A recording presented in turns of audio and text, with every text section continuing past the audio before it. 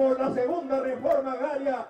El presidente Pedro Castillo continúa con su discurso populista en busca de la aprobación de la ciudadanía en un momento de crisis política. Vamos a, vamos a revisar todos los contratos que tiene el país en todos los ministerios, de todas las obras, y le vamos a dar un plazo, un plazo a estas, a estas empresas que hagan las obras. Y si no lo hacen, la tomará el gobierno y a través del Ministerio de Defensa, a través de este equipo de ingenieros que tiene el Ministerio de Defensa, tomarla y hacerla directamente y hacerla con el pueblo y entregarle al pueblo estas obras.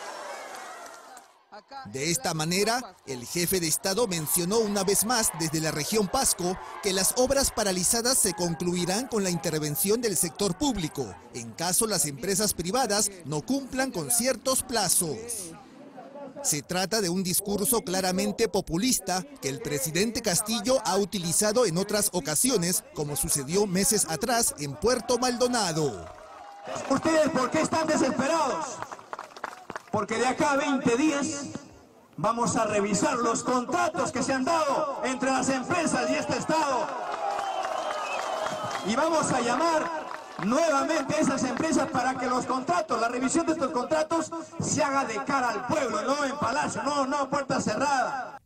E incluso el jefe de Estado también ha tenido un discurso similar en la capital.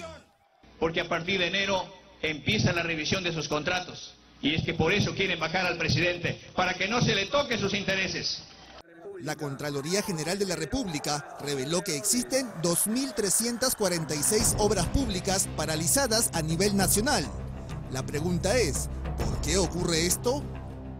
Por ejemplo, algunos están en arbitrajes, otros no tienen presupuesto, otros eh, tienen condiciones o situaciones climáticas que no han permitido, no han permitido su, su continuación o su continuidad.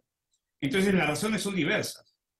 Sin embargo, tú sabes que el líder de un país, cuando tiene la capacidad de ejercer un mandato adecuadamente y además tiene conocimiento, está inclusive bien asesorado, podría plantear propuestas. Para el especialista en contrataciones con el Estado, César Candela, la propuesta del presidente Castillo es inviable.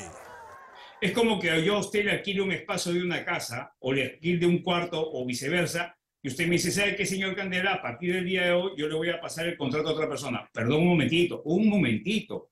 Usted ha contratado conmigo. Y eso se llama estabilidad jurídica, algo que tampoco el presidente ni sus asesores parecen entender. En tanto, el analista político César Campos indicó que el discurso del jefe de Estado solo busca ganar algunos puntos de popularidad. Evidentemente es un populismo y una manera de retomar eh, un, rol activo del Estado en la actividad empresarial y, sobre todo lo paradójico que lo da en el contexto en que vemos el fracaso de Petro Perú, que ha tenido que recibir una empresa pública, una empresa estatal que ha tenido que recibir apoyo económico del Estado para poder subsistir. Campos señaló que Castillo Terrones está emulando una estrategia utilizada por el expresidente Alberto Fujimori. Lo que quiere eh, además Castillo es pasarle la mano a la Fuerza Armada para subordinarla a tareas que debe cumplir el sector privado. Evidentemente esto también demuestra una identidad eh, muy sui generis con lo que hacía Alberto Fujimori al final de su gobierno, también entregarle obras públicas al área de ingeniería del ejército eh, fundamentalmente, y esto con el propósito pues de subordinarlos según la Contraloría, la mayor cantidad de obras paralizadas se encuentra en Cusco, Puno y Lima.